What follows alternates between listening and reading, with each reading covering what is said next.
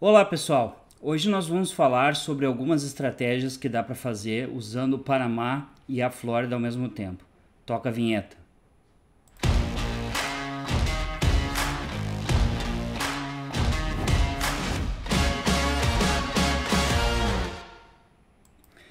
Olá pessoal, meu nome é Carlos Schreier, mais conhecido como Brasileiro Sem Fronteiras. Aqui nós falamos sobre internacionalização tudo que tem a ver com segunda cidadania, residência, residência fiscal, é, uma empresa offshore, uh, trusts, blindagem patrimonial, investimentos em outros países e por aí vai. Bom, hoje eu quero falar sobre uma combinação de estratégias. Para quem me conhece, eu falo muito de teoria das bandeiras, que é utilizar os países como se eles estivessem prestando serviços para gente, né? como se fossem empresas prestando serviço é como se fosse assim: você não investe todo o seu dinheiro em uma empresa só, em uma ação, né? E é a mesma coisa, a gente não pode colocar todos os nossos ovos, todos os nossos investimentos num país só, que é o que vocês estão vendo aí no Brasil, né? Então, é, hoje eu resolvi é, mostrar para vocês é, as estratégias que até eu utilizo ou que eu ensino para os meus clientes com relação a Panamá e Flórida que a gente pode fazer, tá bom? É, vou falar sobre algumas aqui, vou dividir a minha, a minha tela.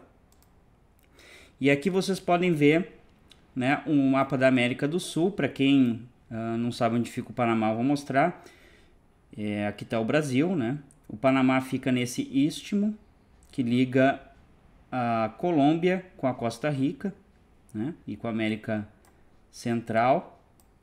Aqui está o Panamá, com o Oceano Atlântico no norte e o Oceano Pacífico ao sul. E como vocês podem ver, a Flórida está aqui. Então, é um voo de duas horas e meia, mais ou menos, da, da cidade do Panamá até Miami. Tá? Eles colocam como três horas, mas é mais pelo tráfego aéreo e também pelo tráfego no, no aeroporto mesmo, tá? Mas sempre dá menos, sempre dá 2 horas e 40, 2 horas e 45, certo? Então eu vou mostrar aqui para vocês é, a cidade do Panamá, tá? O aeroporto do Panamá tá aqui, ó. Esse aeroporto é o, o aeroporto de Tucumán, que é aqui, ó, tá vendo? Então ele tem o terminal antigo, tem o terminal 1 e o terminal 2. Tá? Esse aqui é o terminal 2, onde tem a copa, é só copa, e o terminal 1 é o terminal antigo, certo? O terminal 2 já tem um estacionamento que é gratuito, então é o que eu uso. Eu gosto de comprar somente a passagem da Copa, porque eu posso deixar o carro no estacionamento que é gratuito. Então o que, que eu prazo Eu, eu moro aqui nas praias, que fica aqui mais longe, ó.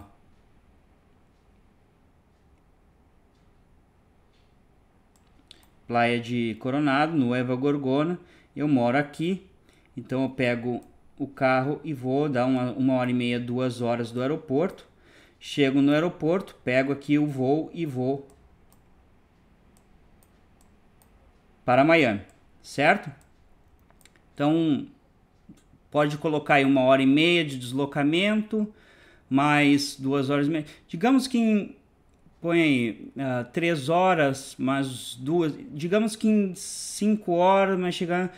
Digamos que em seis horas eu consigo chegar na Flórida, tá? Então, é, mais imigração e tal, você perde aí pelo menos metade do dia indo para lá tá? Esse negócio de ir e voltar no mesmo dia não funciona muito bem, tá? Porque a imigração nos Estados Unidos é muito chata, muito chata mesmo. Então, digamos que você, se você quiser resolver as coisas rapidamente, pelo menos coloque é, um dia para ir, né? Para voltar é tranquilo, muito fácil, porque não, não tem problema com a imigração no Panamá.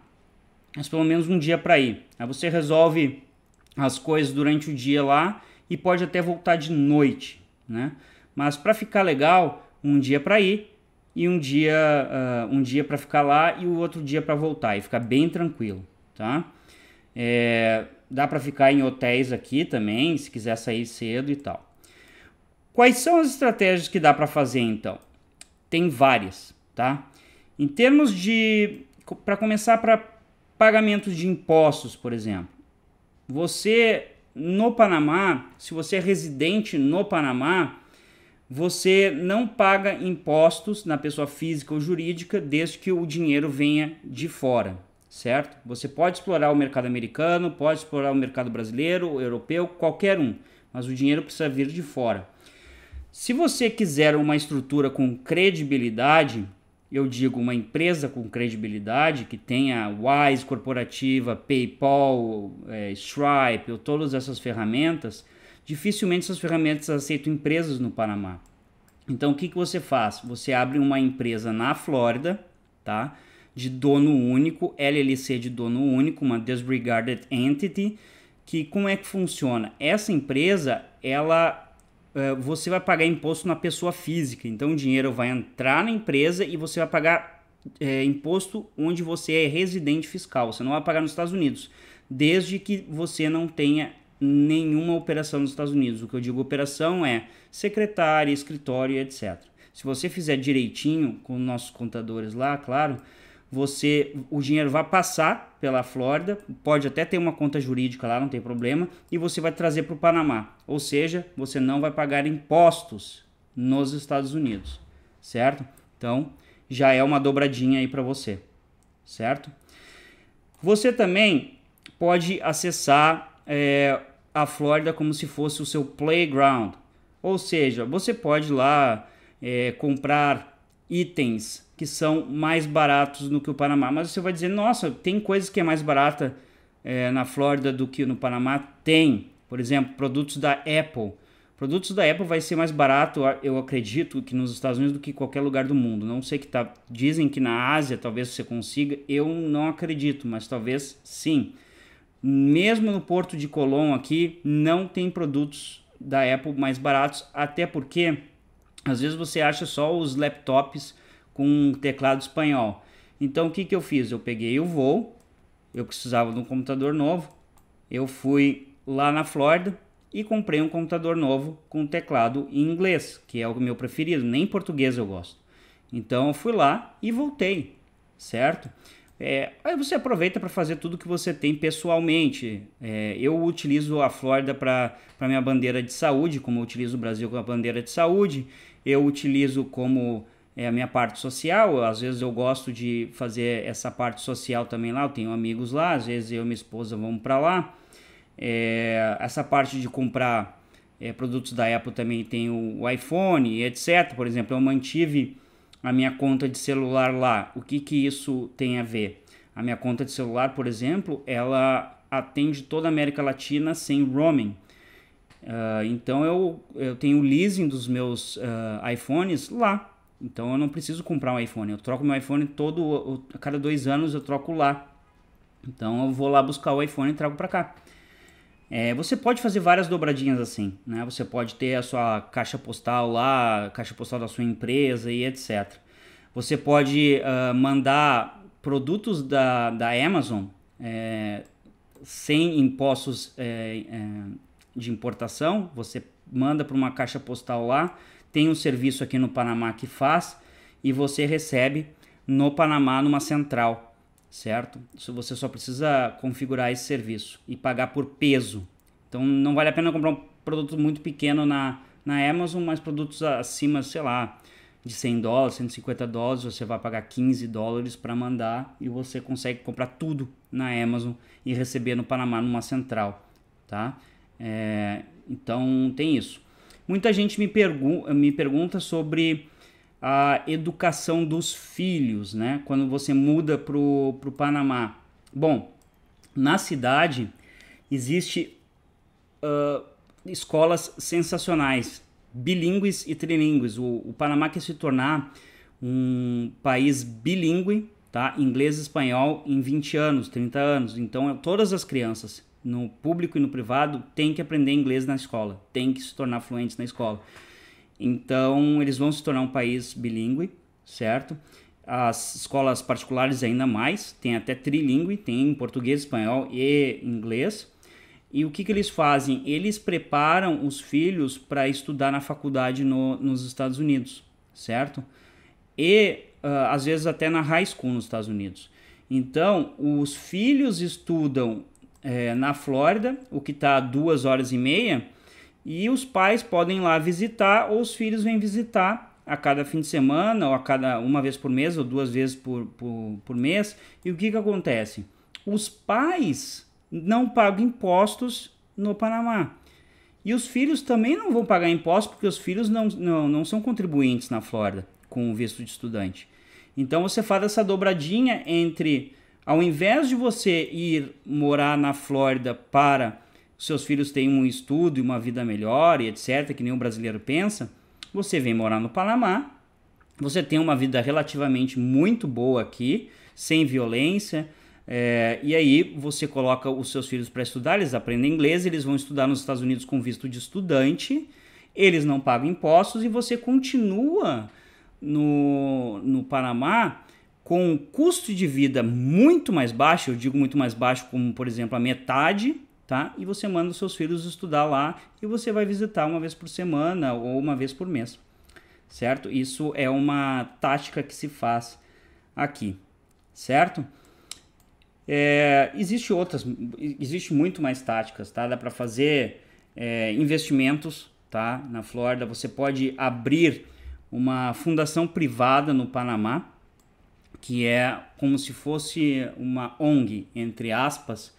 É, essa ONG, uh, ah, o, o, fundador dela, ou quer dizer, o dono da ONG, ele não aparece no registro, os beneficiários não aparecem, o motivo da ONG não aparece, o patrimônio não aparece. Então, esse patrimônio aqui pode estar no Panamá e pode estar nos Estados Unidos, certo?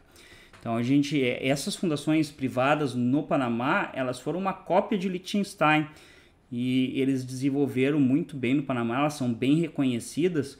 Você pode tanto investir em imóveis nos Estados Unidos como em ações nos Estados Unidos, certo?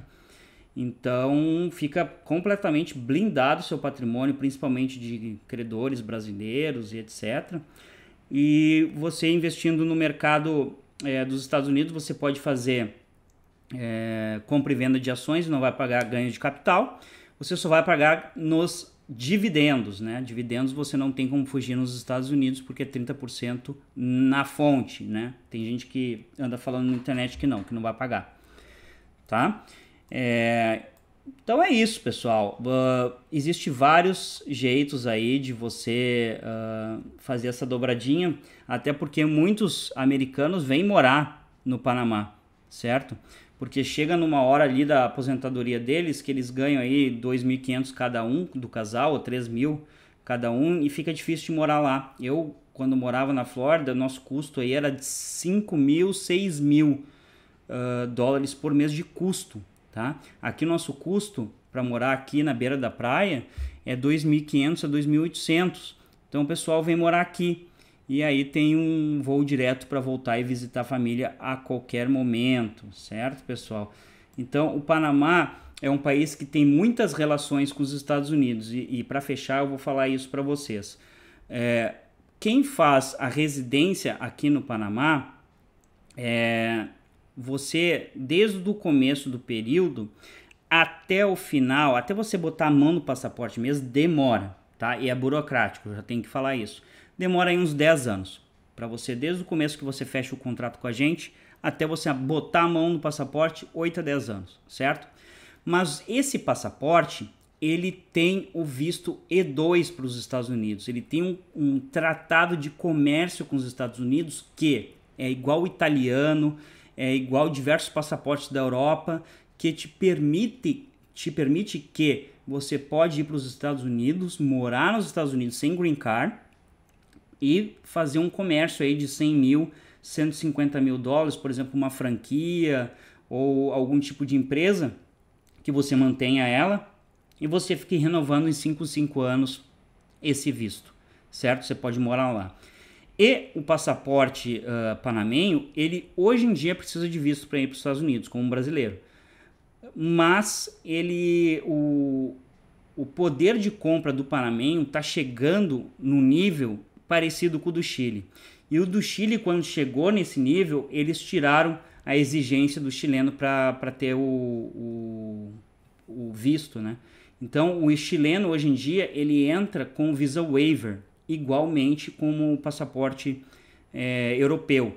Então, eu acredito que em, entre 5 e 10 anos, daqui para 5 e 10 anos, o Panamá vai chegar no mesmo patamar de é, renda per capita, que é o dobro da do Brasil, e aí os Estados Unidos não vão mais exigir o visto do panamenho. Então, o passaporte panamenho é muito, vai ser daqui a 5, 10 anos muito valioso e também a economia do Panamá é que mais cresce, uma das que mais cresce na América Latina e pode ter certeza que você investir nesse país uh, vai ser, na minha opinião, é de muita valia aí para você, certo?